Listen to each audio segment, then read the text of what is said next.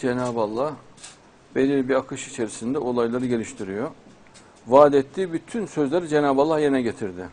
Mehdi devrinde de Cenab-ı Allah iki kuyruklu yıldız çıkaracağım.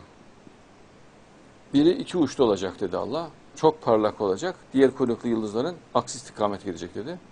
Allah vaadine durdu. Kuyruklu yıldızları çıkarttı.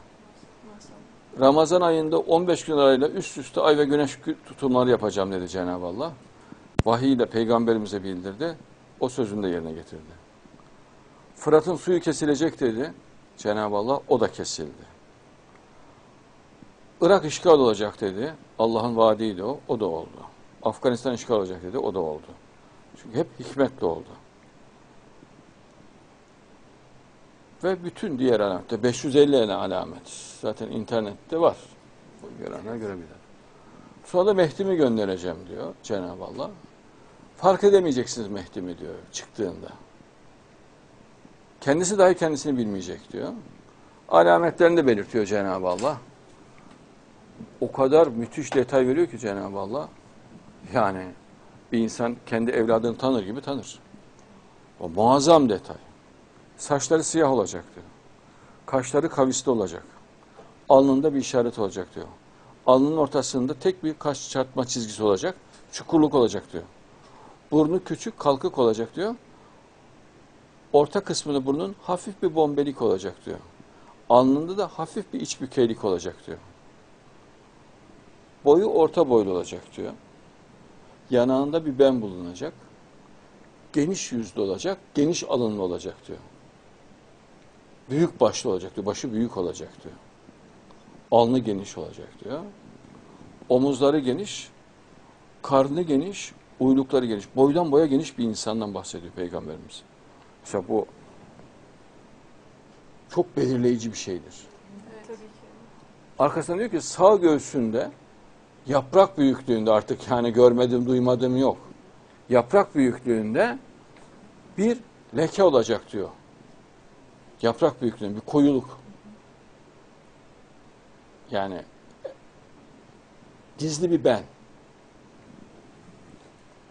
Ama yaprak büyüklüğünde. Büyükçe sağ göğsünde. Omzunda diyor kalp hizasında yine peygamberimizde olduğu gibi efendim gerdek düğmesi kadar peygamberimizin tarifindeki gerdek düğmesi kadar. Yani şu kadar küçük. Şöyle. Gerdek düğmesi. Yani parmak ucu kadar. Şöyle. Bir ben, ben, ben olacak diyor. Sırtında. Müthiş bir detay. Arkasından diyor ki sağ ayağında belirgin bir şekilde bir ben olacak. Ayaklarını dışarıya doğru atacak yürürken diyor. Yüzü parlak olacak. Dişleri parlak ve çok temiz, güzel görünecek diyor. Heybetli ve acar olacak diyor. Baktığınızda Beni İsrail'den bir insana benzeyecek diyor. Yani ne kendi kavmine ne Arap kavmine benzeyecek diyor. Beni İsrail görünümünde. Cism İsrail diye geçiyor peygamberimizin kendi ifadesiyle. Cism İsrail. 10 tane hadis var. Sırf İsrail'e benzediğine dair. Ayrı ayrı. Sözü güzel olacak diyor. Sevimli olacak diyor. İnsanlar başta ondan nefret edecekler. Çok fazla düşman olacak diyor. Yobaz takımı, yobazlar öldüresiye düşman olacaklar. Bu bizim dinimizi yok etmeye çalışıyor. Dinimizi yok et diyecekler diyor. Ve ona muazzam bir öfke duyacaklar diyor. Sakallı, sarıklı deccallar ona karşı mücadele edecekler diyor. 70 bin deccalın adamı çıkacak diyor. Sarıklı, cübbeli. 70 bin kişi. Başları dazlak. Saçları kesilmiş diyor peygamber. Bak detaylara bak. Onun devrini çıkacaklar. Ve Mehdi'yi ilhatla, dinden dönmekle, dinsiz olmakla itham edecekler diyor. Mehdi'yi. Peygamber net tarihinde veriyor diyor. 7000 yıllık bir tarih veriyorum diyor. Bunun 5600 yılı geçti diyor. 7000'den 5600 çıkarttığımızda 1400'de 1500 kalıyor. Başka da vakit yok. 8 tane hadis var. Kim söylüyor? Suyuti söylüyor. 8 tane. Senet gibi. Yobaz takım hiç ağzına dahi almak istemiyor bu hadisleri. Ha, Suyuti söylüyor sahih hadis.